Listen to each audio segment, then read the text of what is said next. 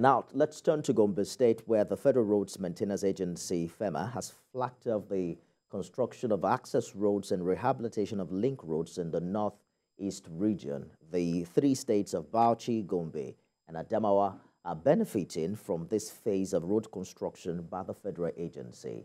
Larry Adiemi has details. Rains often come with flood, and flooding is one of the biggest enemies of good roads.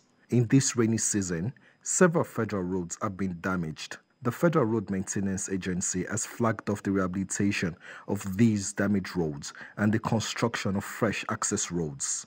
The top engineer of FERMA and one of the contractors described the planned work and the quality that they intend to bring to bear.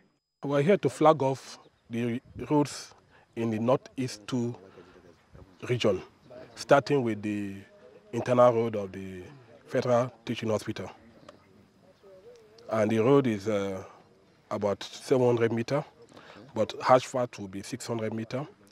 The line drain will be 500 meter both sides, and uh, the shoulder is one meter both sides. We are going to do the artwork and the asphalt and the line drain both sides. This is the, the scope of the job. Since we are on site, we are going to start from zero zero to where the end of the project. Like according to what uh, the SEMA he was saying, this is, I think this is the fourth project in the hospital, what PMA did to them. Hundreds of communities and thousands more road users would benefit from this phased federal intervention. One of the benefiting institutions is the Federal Teaching Hospital Gombe.